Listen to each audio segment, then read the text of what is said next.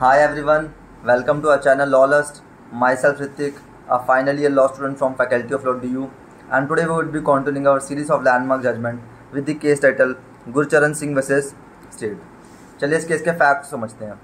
इस केस में होता क्या एक सुंदर होता है, जो एक बड़ा बदमाश होता है डेकोइड होता है। और ना वो काफ़ी मर्डर के, डकेती के केसेस में ना, वो मतलब उसके पीछे पुलिस पड़ी होती है। वो दिल्ली में कमिट करता है और भी काफ़ी शहरों में कमिट करता है। तो होता क्या कि पुलिस उसे पकड़ लेती है और ना पुलिस ऑफिसर्स के बीच आपस में ये क्रिमिनल कॉन्स्परेसी होती है एक किस्म से जिसमें ना उसे यमुना के पास लाकर ना उसका मर्डर कर दिया जाता है। तो इस केस में ना फिर चार्जशीट फ़ाइल होती है पुलिस ऑफिसर्स के खिलाफ स्पेसिफिकली जिसमें तेरह एक्यूज होते हैं और जिनमें उसमें चा, उनमें चार्जेस लगते हैं section one twenty B and section three zero two of I P C के। अब इसमें होता है क्या जब मैटर बेल के लिए जाता है तो सेशन कोर्ट जो है वो बेल ग्रांट कर देती है क्योंकि सेशन कोर्ट को लगता है कि ना उनका जो जो भी एविडेंस है, उससे टैंपरिंग और बाकी जो भी रीजंस होते हैं, जैसे बीच में इंटरप्शन कॉज करना या प्रेजेंट अपनी प्रेजेंस शो करना कोर्ट में, इन सब चीज़ों में कोई भी दिक्कत नहीं होगी और वो अपनी प्रेजेंस शो करते रहेंगे। जबकि हाई कोर्ट जो है, वो कहते हैं कि ना, काफ़ी चीज़ों को कंसिडरेशन में रखना चाहिए, जैसे कि करेक्टर ऑफ़ एविडेंस हो गए नेचर ऑफ़ ऑफेंस हो गए, और इन चीज़ों को मद्देनज़र रखते हुए जो हाई कोर्ट है, वो बेल कैंसिल कर देती है। तो मैटर जाता है सुप्रीम कोर्ट में।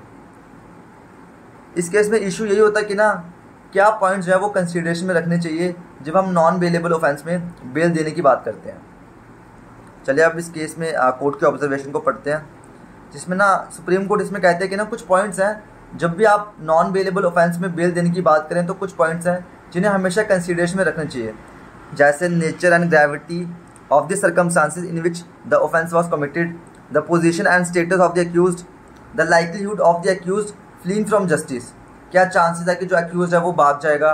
वो अपनी प्रेजेंस शो नहीं करेगा कोर्ट में। वो एविडेंस के साथ टेम्परिंग करेगा।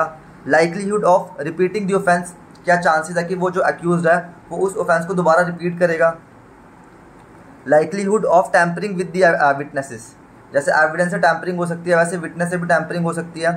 History of the case as well as of the investigation investigation से वो टैंपरिंग कर सकता है और क्या इन्वेस्टिगेशन को कहीं ना कहीं रोक सकता है या उसमें कुछ गड़बड़ हो सकती है। और इस केस में ये कोर्ट को बड़ा क्लियरली लग रहा था कि बीइंग अ पुलिस ऑफिसर ये चांसेस इन चीज़ों के होने के बहुत ज़्यादा है, क्योंकि पुलिस ऑफिसर आपस में इन्वेस्टिगेशन में कुछ दिक्कतें क्रिएट कर सकते हैं वो विटनेस के साथ। क्योंकि इस केस में होता है कि जब विटनेस को एग्जामिन किया जा रहा होता है ना तो स्टार्टिंग में तो जो विटनेस है वो होस्टाइल हो जाते हैं।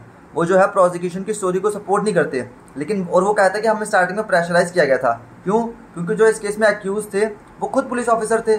और इस चीज़ का होना तो बड़ा कॉमन है कि पुलिस ऑफिसर जो है अपने ही जब इन्वेस्टि अपने ही ऑफ़िस में जब इन्वेस्टिगेशन हो जाएगी तो वो उसमें टैंपरिंग बड़ी आसानी से कर सकते हैं।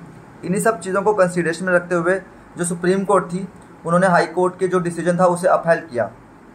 और यही मेन पॉइंट थे इस केस में। आई होप आपको ये वीडियो अच्छी लगी हो और ऐसे ही हमारी लैंडमार्क जजमेंट की सीरीज़ को सपोर्ट करने के लिए आप हमारे चैनल को फॉलो कर सकते हैं। Thank you